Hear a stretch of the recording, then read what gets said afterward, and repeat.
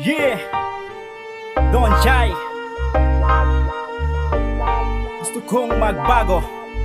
Ah!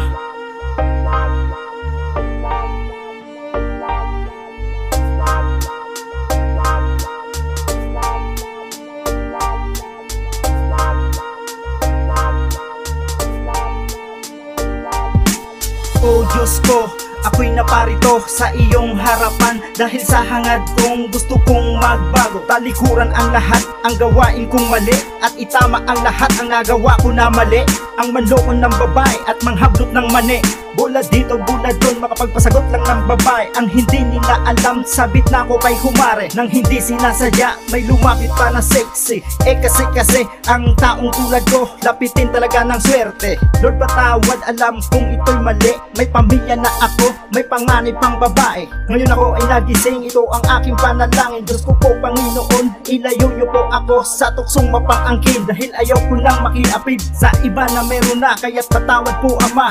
Ngayon din po, gusto kong magbago. Ang taong tulad ko, may pag-asa pa ba? Gusto kong magbago, nasa Diyos ang awa Nasa atin ang gawa. Ang taong tulad ko may pag-asa pa ba? Gusto kong magbago. Nasa Diyos ang awa, nasa atin ang gawa ngayon to 018, gusto kong baguhin Gusto kong limutin, gusto kong linisin. Mga kasalanan ko na pangit na sa paningin Upang aking matupad, New Year resolution. Ititigil ko na din ang paggawa ng illegal Ang mangutong sa daan at magproteksyon sa sugal. At magsisimba na din ako upang ako'y maging banal. Ayaw ko na kasing tawagin ako.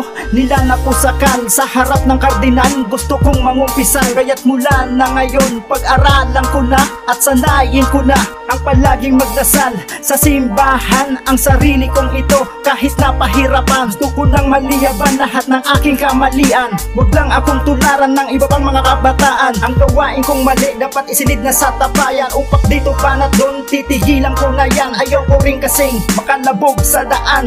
Patawad po ama ang dami kong nasaktan. Patawarin po ako sa mga nagawa kong kasalanan. Ang taong tulad ko may pag-asa pa ba? Gusto kong magbago na sa Diyos ang awa na sa atin ang gawa. Ang taong tulad ko may pag-asa pa ba? Gusto kong magbago na sa Diyos. Ang awa na sa atin ang gawa. Ang taong tulad ko may pag-asa pa ba? Gusto kong magbago na sa Diyos. Ang awa na sa atin ang gawa